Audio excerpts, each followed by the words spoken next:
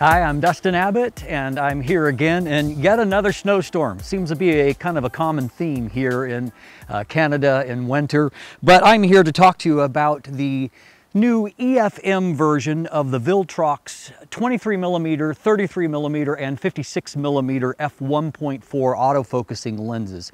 So previously I have looked at each of those lenses in a for a different system. Uh, some of them I looked at for Fuji X mount. I looked at at least one of them for Sony E mount. But now uh, Viltrox has released them in the Canon EF, EFM mount, which is really welcome con considering how few uh, prime options we have had, particularly with wide aperture on some of Canon's EFM bodies. Now I've used the EOS M5 uh, for this review.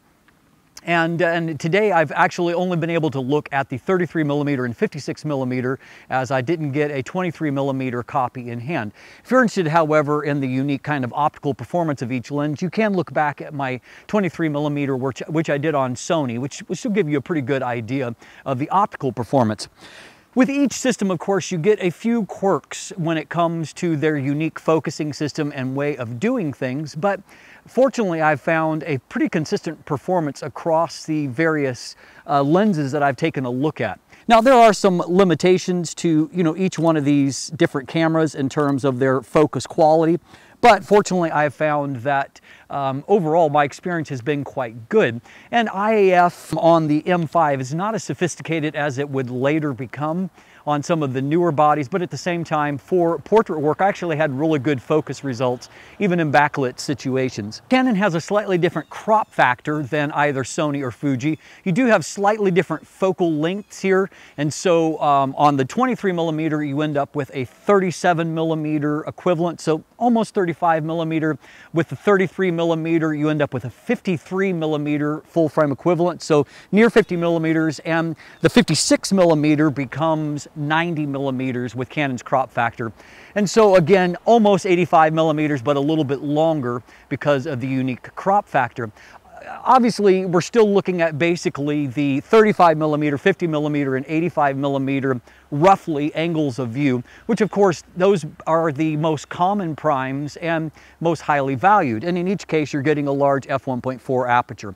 So let's take a look hands-on to see what you're getting in the build and the handling of these little lenses. Let's take a look. So as we take a closer look at the build and the design of these, the first thing that stands out is of course the fact of the silver finish, which compared to the, you know, older, which is a relative term since all of these are new lenses, but the XF and then the E-mount versions came first. But what we see is that obviously you have a less traditional looking and a little bit more flashy. So that's either going to be a good or a bad thing depending upon your personal taste. But what we continue to have is really nicely made lenses here. There is actually a brass lens mount, which, you know, is a pretty high grade material for such an inexpensive lens.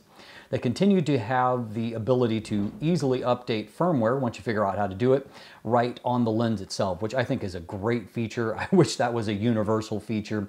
To me, it just seems like the, the easiest and most logical way to update firmware. And so anyway, kudos to them on that. Still no weather sealing gaskets there. I would like to see that as the next thing that they tackle in lens design. We continue to have the dual purpose aperture, and so it's a declicked aperture. Um, you don't necessarily feel any detents there except for the space between f16 and going to the automatic mode. But what you can do is you can, you know, you do have markings at one third stop to detents, and so you have really good spacing on the aperture ring. And so it's not hard to, you know, to find the aperture value that you want. And I do find that I've gotten consistent aperture results when I'm doing my test, like I actually get the aperture that I want. So they're fairly accurate. Likewise, we have got a fairly nicely damped um, you know, it's, it's a lightweight kind of metal alloy, as is the build, but manual focus ring that does the job fairly well. And then the lens hood itself is also metal in all these cases, and so with a nice machined ribbing inside, and, and so it, it feels quite premium, which, you know, everything about the build feels quite premium considering the price point. Up front, we have a 52 millimeter front filter thread on the 33 millimeter lens, and we also find the same on the 56 millimeter. They're both have STM motors inside.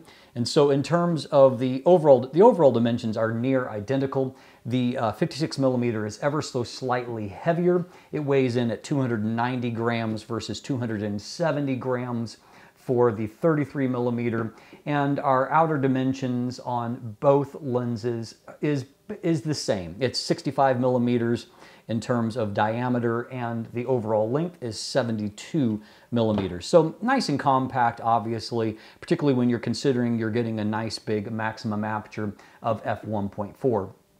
Also similar is that in both cases you get a 1.0 times magnification, which is not all that impressive, and uh, but your minimum focus distance is going to change a little bit, you know, because of the focal length itself. In the 33 millimeter, it's 40 centimeters. On the 56 millimeter, it's 60 centimeters. So all told, relative to, you know, competing lenses, I think that you're actually getting a really nice degree of build. And the only thing that I could really criticize or, you know, point is lacking is there's no AF MF switch and no weather sealing on it. Other than that, however, you're getting quite a highly featured and a very nicely made lens for a relatively small amount of money. So as you can see, it's really hard to complain about too much there because for the price point, I mean, with the 33 millimeter, you're talking about a lens that retails for only $239. I believe that the, uh, the 23 millimeter is somewhere around 200 and 60 or 70 dollars and then close to 300 dollars for the 56 millimeter. But in none of these cases are you talking about big money. And so this is actually a really strong build that I would say is arguably as good or better as anything you're going to get in this class and at a lower price point than any of the competing lenses. So as noted, each one of these lenses comes with a STM or stepping motor. And I will give Viltrox credit because as we noted in the handling section, it's pretty easy to apply firmware updates and they've also been nice and persistent in continuing to improve autofocus via firmware update.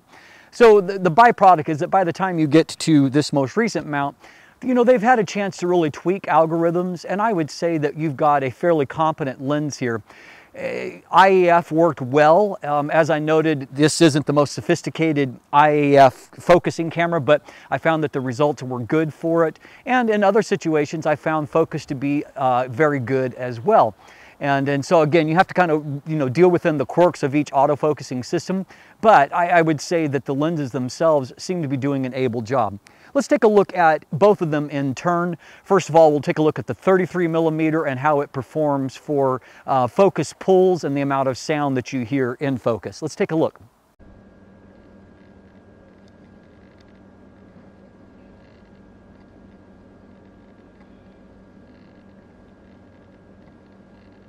So as you can see, I mean, it, it's, it's pretty good there. Um, it's doing a, a, decent job and um, I think that our focus pulls are pretty decent. As you can see, video quality drops because we're limited to 1080 on the M5 and it's not the world's best 1080 at that.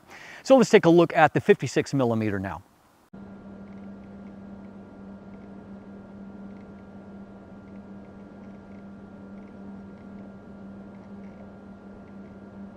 So again, uh, you know, a roughly similar performance, but I think that th these are within the wheelhouse of what you would, you know, expect from uh, lenses like this. And overall, my autofocus consistency was was good during my uh, testing period, and so I, I don't really have anything particularly negative to say about autofocus over the course of the review period.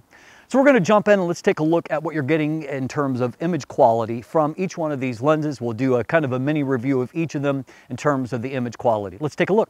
Let's start off by taking a look at our vignette and distortion here on, we're going to look at the 33 millimeter first and then we'll uh, move over to the 56 millimeter.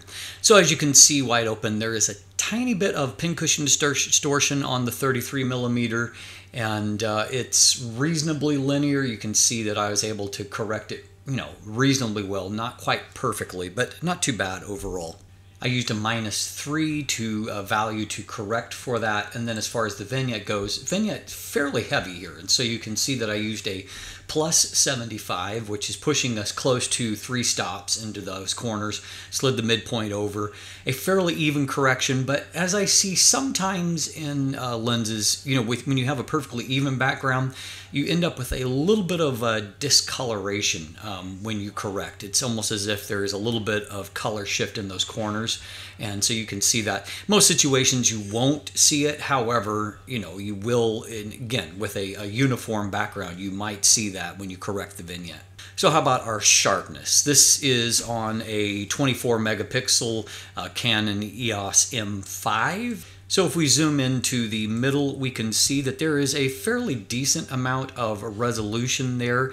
Contrast not too too bad, but neither is it kind of popping off the page. Mid frame looks, you know, fairly good, good detail that is there, and uh, contrast not too bad. And uh, looking down here, I mean, at, this is at 200%, so things are looking really pretty good. And looking down into the extreme corner, it also looks pretty good. So a pretty decent amount of uh, sharpness across the frame. We can see looking down into this corner there is just a tiny bit of lateral chromatic aberrations and so nothing that's going to you know impact image sharpness too much so again a pretty good um, pretty good handling of that I would say. Stopping down to F2 gives us uh, an obvious increase in our contrast above all else. There's a little bit more resolution, but you can see above all its contrast that is improving and thus, you know, text is becoming more legible.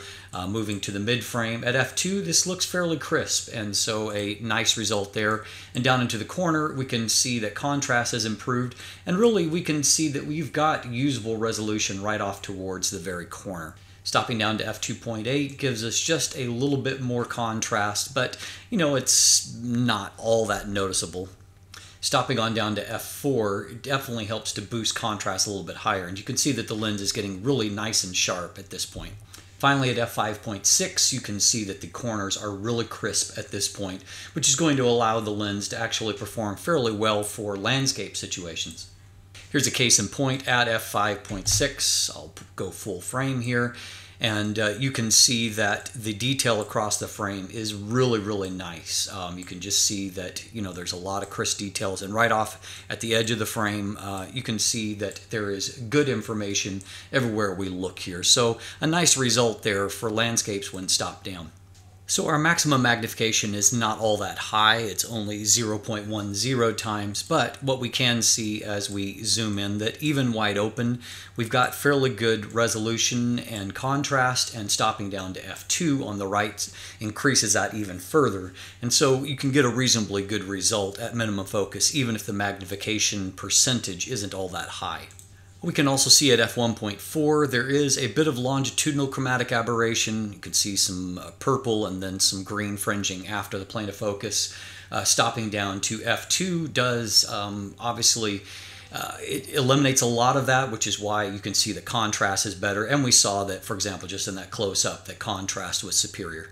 Now, you can get a bit of a generalized kind of veiling if the sun is in the frame. You can see it's not isn't like destructive in terms of the ghosting in this backlit image, but we can also see that um, you know our resolution and contrast is held up nicely. Everything looks uh, good on the subject, and the uh, background looks pretty nice as well another uh, portrait from that setting and so you can see that you know again the rendering on the skin everything looks quite nice and the image as a whole looks good and so this is certainly a viable portrait lens.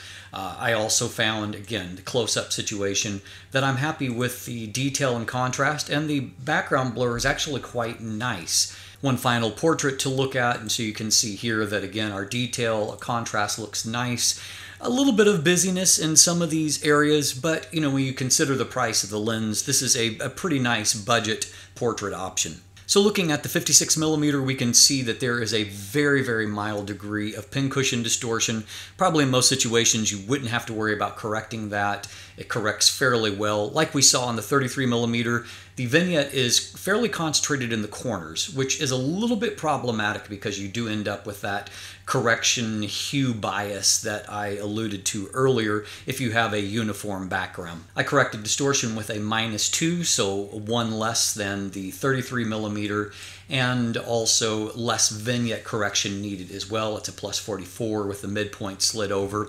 As you can see, illumination is fairly even, but there is that kind of discoloration that resulted from the correcting. So looking at sharpness, we can see again there's a pretty good amount of resolution that's there in the center of the frame. What we do see though is that you know contrast is a little bit lower, same kind of pattern with a little bit of aberrations that are uncorrected. Uh, we can see here though that stopping down to f2 really adds a lot of contrast into the equation. Looking at the mid frame, again, resolution is pretty good wide open. Stopping down to f2 increases that contrast if that's your desired outcome.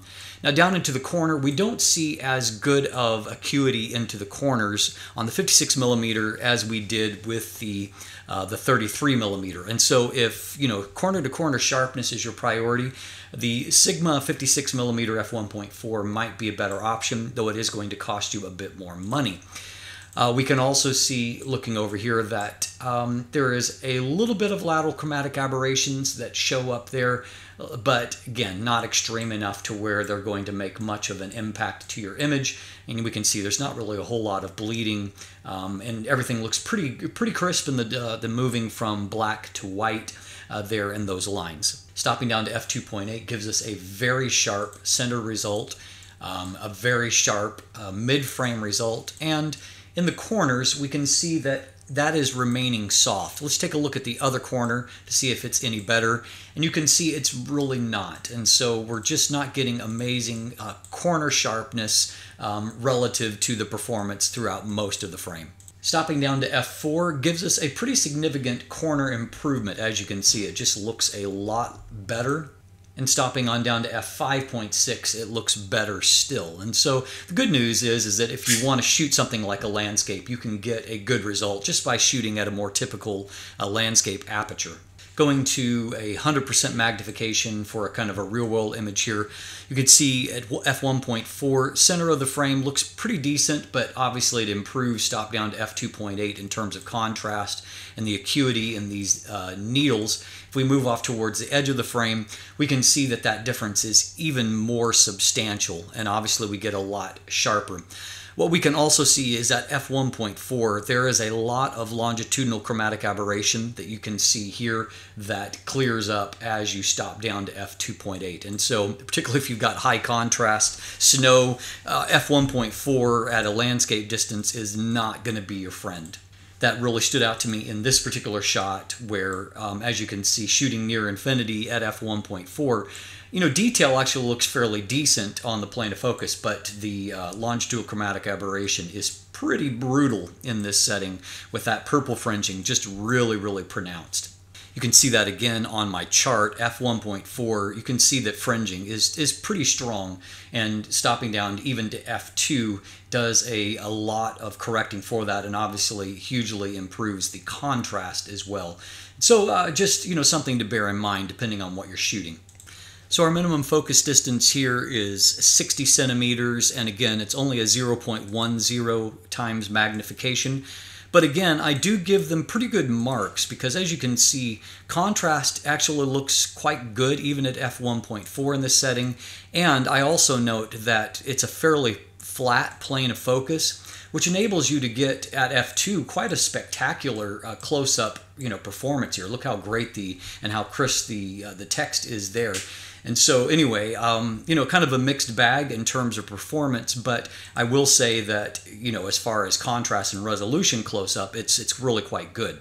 This is a lens that's actually capable of producing quite a bit of blur, as you can see from this image, and as you start to get towards that defocus, it, I think, looks quite good here. Here's another shot where I'm a little bit further away from the subject, but once again, a fairly good delineation. Um, you know, you can see that there could be a little bit more contrast, but really, looked at globally, it looks quite good. And again, the bokeh looks fairly nice. Another shot here at f1.4. And again, I think that that's actually fairly good sharpness and a nice bleed away that takes place. Let's end off with a couple of portraits here. So here's an f1.4, and so you can see it looks uh, fairly good. Uh, you know, again, contrast could be a little bit better, but we got good Eye AF detection during this segment. The image overall looks fine. And then here at f2, uh, we can see that obviously, as we've seen as the pattern, there's a lot more contrast available. And I think that the, uh, the bokeh here still looks pretty decent beyond. So overall, I mean, while there is a little more uh, aberration than what I would like to see. The trade-off for that is that the background blur looks pretty decent here. And so again, it's a, another nice budget portrait lens. So at the end of the day, I think that we have got a good very nice lenses here really for the amount of money and certainly a welcome addition. I would say that the chief competition for these lenses is probably going to be, at least at the 56 millimeter, uh, if you're looking for a lens that, that is arguably even sharper and um, even higher performing, the Sigma 56mm f1.4 is available for EFM. It's a pretty fantastic lens. However, it is running you a couple of hundred dollars more in terms of the price point. And so, um, but that's probably cheap competition. And likewise, I would say the, uh, the Sigma 30, 30mm f1.4, not an identical focal length, but you know, close enough. But at the same time, I do note that the Sigma 30 millimeter f1.4 it's a little bit harder to sell because it's not as good optically and it's an older lens relative to the newer 56 millimeter. And so uh, it does have quite a bit more barrel distortion, for example, than what the uh, 33 millimeter Viltrox does. And then you don't really have a direct competitor for the 23 millimeter. And so I think that it's, you know, outside of maybe Canon's own EFM 22 millimeter f2, but you're dealing with a, a different lens for sure, um, with different kinds of, of strengths and weaknesses. So overall, I think these are really welcome additions to uh, Canon's EFM system. And so if you're looking for inexpensive, large aperture primes that actually do quite a good job, then take a look at the Viltrox options. I'll throw a linkage in the description down below if you want to research a little bit more. I also have image galleries if you want to check those out and they'll be linked to as well. Beyond that, of course, linkage to follow me on social media. Assuming that I don't freeze to death out here. And uh, beyond that, you can uh, become a patron. You can sign up for my newsletter that comes out every Thursday. And of course, if you haven't already, please click that subscribe button, ring that bell so you get notifications of new content. And have a great day and let the light in.